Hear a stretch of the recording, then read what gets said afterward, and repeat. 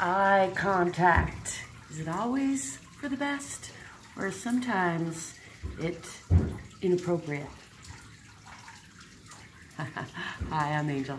Thanks for stopping by for another uh, green thought from the greenhouse. I'm having my eye contact drawn away by neighbors out there, but I had an interesting discussion with one of my peer groups this morning that I thought I would try to extend to my YouTube channel here, if any of you would like to chime in. I know that it's generally accepted that eye contact is a sign of respect and a sign of engagement and attention, and yet I, I find it a little, uh, I, I find myself disagreeing when I've had people say that it's always something that we should utilize. And maybe I'm a little on the Asperger's spectrum. I was was raised kind of by wolves, and so um, I know that there's some cultural differences.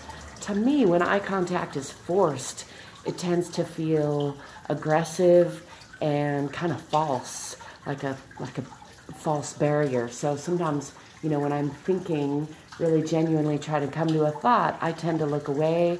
Or when I'm conversing with someone that I really trust, I don't feel the need to force eye contact. Now, sometimes for effect, I find eye contact useful. And certainly in the camera, I continue to try to improve on remembering where the where the camera is. I think it's right there, so that I can give that impression of eye contact.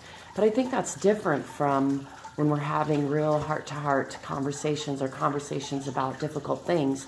And I guess what sparked my interest the most were people who are in therapy, uh, specifically the group, the peer group that I was having this discussion is in is a hypnotherapy and neurolinguistic programming therapy group or a group of peers who are involved in helping others with those with those uh, tools.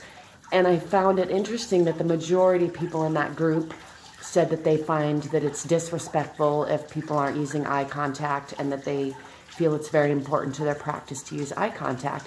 When I think back on uh, much of the therapy that I had when I was younger, I, I can remember feeling a degree of falsehood, a degree of aggressiveness, a degree of uh, forcedness, which is distracting from really getting into the heart of the matter, really getting into my deep levels of communication. And I guess maybe that's because I focus a lot on vibration and the feelings of things more than people's words and even their body language. I, I think those things are relevant, but I think they're often, much like eye contact, often forced and imposed as a way of deceiving.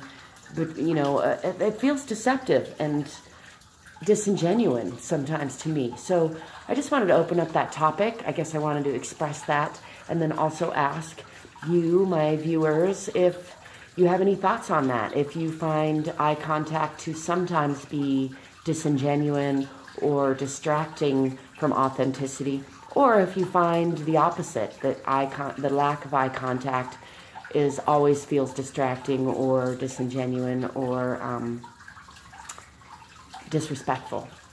I open that up to you. I'd love to know what you have to say about that if you care to share in the comments. As always, you can find other ways of connecting with me. Eye contact and no.